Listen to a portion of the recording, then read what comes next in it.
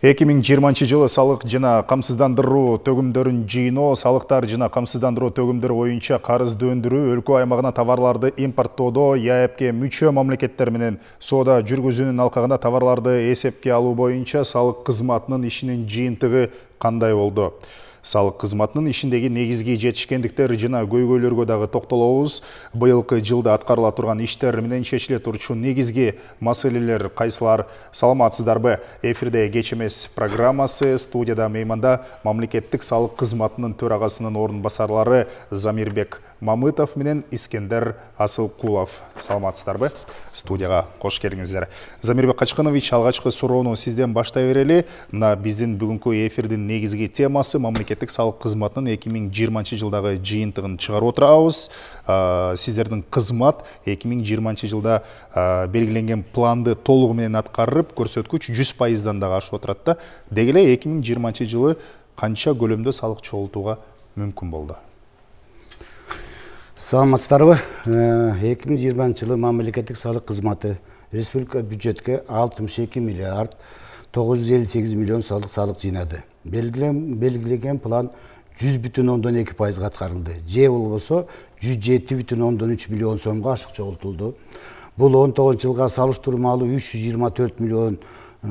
ондон жети миллион сомго көп жыйналды да? Салыктар боюнча пландын көрсөткүчтөрүнүн ашыгы менен аткаруу бир катар фактылар аркылуу ишке жетишилди атап миң жыйырманчы жылдын биринчи июлдан тартып ишке киргизилген смарт салым салык жол жоболорун фискалдаштыруунун долбоору анын ичинде электрондук эсеп фактураларды өзүнүн жыйынтыктарын бере баштады мындан тышкары экономиканын баардык тармактарын талдоо жана мониторинг жүргүзүү бизнестин көмүскөдөн чыгаруу ээп мүчө өлкөлөр менен соода алашуу алкагында кыйыр салыктарды башкаруу боюнча албыктуу иштер жүргүзүлдү ушул жылы ушул жылы салык кызматынын алдында мамлекетке бюджетке токсон алты бүтүн ондон жети миллиард сом салыктары жана отуз сегиз бүтүн ондон эки миллиард сом камсыздандыруу төгүмдөрүн чогултуу милдети турат. Салыктар өсүү темпи жүз жыйырма беш бүтүн ондон алты пайызга пайызды түзүп атса камсыздандыруу төгүмдөрү боюнча жүз он беш жүз он беш пайызга түзүп атат да. Мунун жанакы өйдөкү айтып кеткен факторлордун негизинде мисалы жылдын башы эле бизди көрсөтүп кубандырып турат да. Январь айы январь айы бюджет тиги жүз он тогуз процентке аткарылды боз бюджет деп коебуз республикалык бюджет жүз он жети пайыз жүз он жети бүтүн ондон сегиз пайызга аткарылып же болбосо бул айда бир миллиард кырк алты миллион сом көп чогулду смарт салымдан тышкары дагы кайсыл бир жагымдуу факторлор ишке аштыбы роль ойнодубу мына салык төгүмдөрүн дагы салык кызматы башкарат ушул салык төгүмү боюнча искендер эсенгелдиевич айтып берсеңиз бул жаатта ийгиликтер кандай болду албетте албетте камсыздандыруу төгүмдөрү боюнча белгиленген пландан жүз алтымыш үч миллион сомго көп чогулду эки миң жыйырманчы жылдын ичинде же болбосо отуз үч миллиард бир жүз токсон миллион сом чогулду бул эки миң он тогузунчу жылга салыштырмалуу жети жүз алтымыш алты миллион сомдон көп чогулган да өсүү ыргагы жүз беш бүтүн ондон алты пайыз түзүп ал эми бул эмне эмненин эсебинен жетиштик биринчиден салык төлөөчүлөр камсыздандыруу төгүмдөрүн төлөөчүлөрдүн көбү биз электрондук отчет берип электрондук баягы төгүмдөрдү кылып жүрүшөт андан тышкары дагы патент менен полисти электрондук түргө өткөргөнбүз эки миң жыйырманчы жылдын он биринчи августунан баштап мындай дагы ыкма салык төлөө боюнча камсыздандыруу төлөө боюнча салык төлөөчүлөргө берилген мүмкүнчүлүгү бар андан тышкары ээбке мүчө болгон өлкөлөрдөн ташып алып келинген товарлар боюнча кыйыр салыктарды кошумча нарк салыгы менен акциз салыгын төлөөдө бир көптөгөн жетишкендик болуп атат. Бул бирден бир салык жол жоболорун фискалдаштыруу алкагында болуп атат. Өзүңүздөр билгендей биринчи июль эки миң жыйырманчы жылдан баштап электрондук эсеп фактураларды киргизилген. Бул ыкма менен он эки миңден ашык кошумча салык төлөөчү жана импорт импорт экспорт операцияларын жасаған биздин субъектилер колдонуп келатат. Алардын алар ушул ыкманын колдонгону менен үч миллион сегиз жүз миң тегерегинде эсеп фактураларды жазган электрондук түрдө жана баардык жүгүртүлгөн ушул алкагындагы эсепке алынган товардын обороту төрт жүз жетимиш алты миллиард сомдон ашык болуп турат бул эмнени билгистирет бул ушул он эки миңден ашык салык төлөөчү ачыкка чыгып салыгын толугу менен төлөйм деген белгиси да бул биринчиден экинчиден импорт болуп аткан кезде баардыгы болуп эпке мүчө болгон жүз элүү беш миң төрт жүз отуз төрт коштомо документти беришкен импорт импорт кылып аткан биздин субъектилер бунун артынан жыйырма беш миллиард сомдон ашык кыйыр салыгы чогулган болбосо тактап айтып кетсе жыйырма беш миллиард эки жүз жыйырма жети миллион сом бюджетке түшкөн бул республикалык бюджетке чогулткандын бир кырк пайызын тегерегин түзөт да бул бирден бир чоң бир жетишкендиктердин бири андан тышкары биринчи ушул эле алкагында карасак биринчи январдан баштап жыйынды посту деген биздин программа ишке кирди буга сегиз мамлекеттик орган бирдиктүү иштеп атышат анын ичинде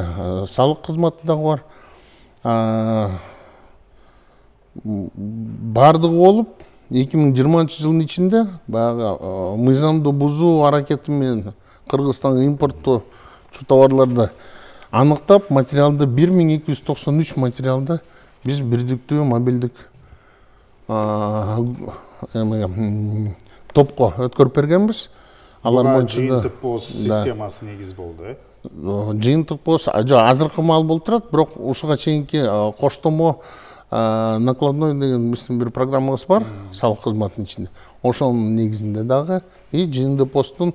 биринчи баштапкы этаптарында кошулду кошул жардамы менен деп айтсак болот анткени биз бул боюнча жумушту көп жылдан бери алып келатабыз жыл сайын баягы өзгөрүү жаңылууда да баары тең андан тышкары алкоголь чөйрө мамлекеттик жөнгө салуу контролдоо боюнча тиешелүү иштер салык кызматына эки миң он тогузунчу жылдын декабрь айында өткөн. Былтыркы жылы биз мыйзам жүгүртүүдөн алтымыш бир жарым миллион сомдон ашуун алкоголь продукцияларды акциздик маркалары жок жасалма акциздик маркалары колдонуп же болбосо контрафакттык жасалма продукциялар сатабыз деп бир миллион токсон миңден ашуун бөтөлкө чыгарылды да обороттон чыгарылып андан тышкары жетимиш төрт миңден ашык сыра да чыгарылды да. Бул эми эки миң он тогузунчу жылга салыштырмалуу кылсак эми эки миң он тогузунчу жылы тогуз миң үч жүз кырк эки миң тогуз миң үч жүз кырк эки бөтөлкө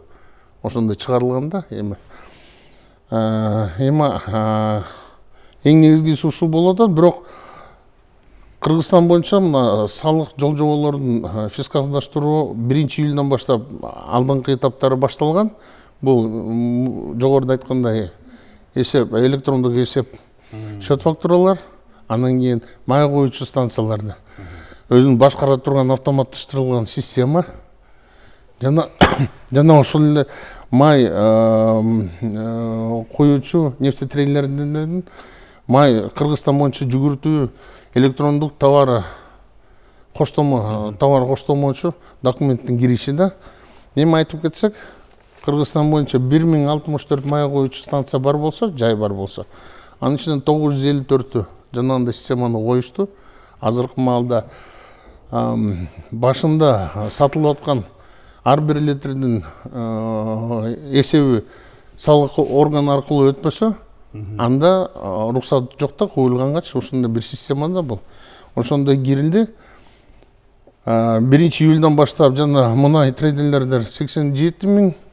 ден ашык электрондук товар сопроводительный деп коет документти ошону толтурушту ошонун баардыгы баягы эми э, санариптештирүүнү да санариптештирүүнүн алкагында эки миң жыйырманчы жылга жа- жардам берди деп ойлойбуз баягы пландын аткарылганына дагы кандай долбоорлорду ишке ашыра алдыңыздар ошол санариптештирүүнүн алкагында алар дагы кандай натыйжаларын бере баштады? Эми эң негизгиси э, мен жанагы сиздерге айттым. Ал эми эки миң жыйырма биринчи жылга эми багыт алып атабыз азыркы маалда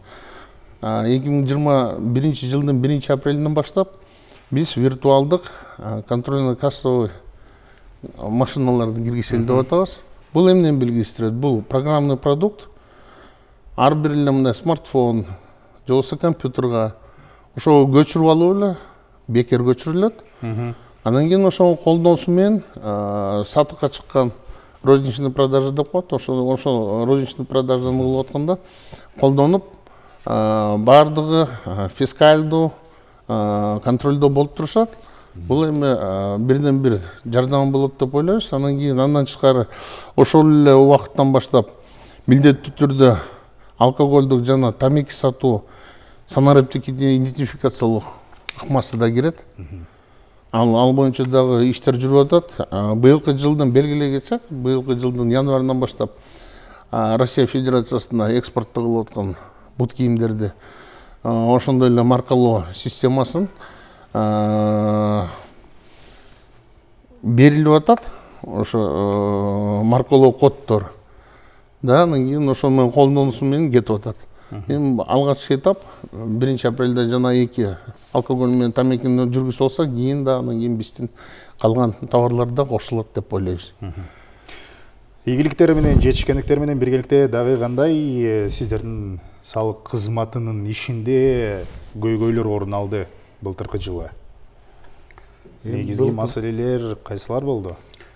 негизги туура айтасыз негизги маселенин бири жанагы бизге былтыркы пандемия э, өз эмесин негизин көрсөттү бизге действительно. Кээ бир салык түрлөрү мынакей э, патенттер боюнча обязательно патенттеп коет ошону ошол э, түрүнөн жергиликтүү бюджетке түшпөй калды анткени көпчүлүк ишкерлер иштеген жок базарлардын баары жабылды торговый точкалардын баары жабылды. Ошол тиги кичине ошол түр салыкка көпчүлүк таасирин тийгизип койду да көйгөй ошол. Көмүскөдө иш алып барган э, айрым ишкерлердин баягы мыйзамга баш ийбей салык төлөбөй жүргөндөр бүгүнкү күндө барбы? Аларды аныктоо мыйзам талаасын алып келүү иштери жүрүп жатабы бүгүнкү күндө? Эми аны айта кетсек мынакей сиз айтып аткан жанакы э, ошол убагында тиги э, салык төлөмдөрүн төлөбөй алгандар жөнүндө айтып атасыз да сизчи эми биздин биринчи июлга карата азыр кыргызстан боюнча алты миллиард төрт жүз жетимиш төрт миллион карызыбыз бар ошол иш- ишкерлердин былтыр ошол жанагы биз айтып атпайбы жетимиш сегиз миллиард түштү ошонун беш бүтүн ондон беш пайызы же болбосо төрт бүтүн он төрт миллиард эки жүз элүү жети миллион ошол карыздардын эсебинен түштү да бул процедуранын баары тең алгоритм алгоритми өкмөт токтомунун бекитилген ар бир процедура алгоритм менен тиги толук кармалат аны жеке эле ишкерлер э, пандемия убагында мынакей жеңилдиктер берилди. Э, отсрочка рассрочканы без банковской гарантия бердик ага ишкерлер катышты бул да өкмөттүн оң көз караш деп ойлойм да ишкерлерге жардамы чоң эки миң жыйырма биринчи жылга мына салык кызматы тарабынан киргизиле турчу ири долбоорлор пландар тууралуу айтып бере атасыз. Эки миң жыйырма биринчи жылга дагы кандай пландар бар? Башкы максат албетте бул салыкты ашы менен чогултуу планды толтуруу ооба ооба албетте албетте. Бул эми эмне менен жетишебиз буга бул биздин өзүбүздүн а, салык төлөөчүлөргө көрсөтүп жаткан кызматыбызды оптималдуу топтом киргизүү да электрондук түргө өтүш керек. А, былтыркы жылы абдан көп нерсеге өттүк мына мисалы үчүн эптен келаткан товарларды. да товарлардын эсепке алуу боюнча да. Справкасын алчу эле келип туруп салык кызматынан аны да дистанттык формага өткөрдүк камсыздандыруу төгүмдөрдүн отчетун да дистанттык түрүндө өткөрдүк Э, ошондой бир көп нерселерди киргиздик. Андан тышкары былтыр пандемия башталгандан баштап текшерүүлөрдүн пландык текшерүү жагын токтоттук. Ал азыркы күнгө чейин иштеп атат. Мына биринчи июлга чейин узартылды. Салык орган тарабынан баягы пландык текшерүүлөрдүн баары тең көчмө текшерүүнүн баары тең токтолуп турат албетте эми ошонун баары тең э, натыйжасын берип атат деп ойлойм эмнеге дегенде бул баягы биринчи этап бүттү экинчи этапка кирип атабыз. Салык төлөөчүлөр мына эки жүз алты миңден ашык субъект биздин жеке кабинет аркылуу кызмат алып атат салык кызматынан. Анан кийин эми жети жүздөй салык төлөөчү бар эми баары тең акырындан ошо өтсө мен ойлойм анан кийин салык төлөөчүлөрдүн баары тең эле салыгын төлөп түздөн түз мындай байланыш болбой эч кандай бөгөт болбойт деп ойлойм салык төлөө адам факторлору жоюлат жооптур айтасыз контакттар да кошумча дагы маалыматыңыздар барбы кыскача кыскача баарын айттык анда сиздерге рахмат. Ишиңиздерге ийгилик каалайбыз урматтуу теле көрүүчүлөр биз мамлекеттик салык кызматынын төрагасынын орун басарлары замирбек мамытов менен искендер асылкулов салык кызматынын эки миң жыйырманчы жылдагы ишинин жыйынтыгы тууралуу айтып беришти маалымат алдык программаны жыйынтыктайбыз саламатта калыңыздар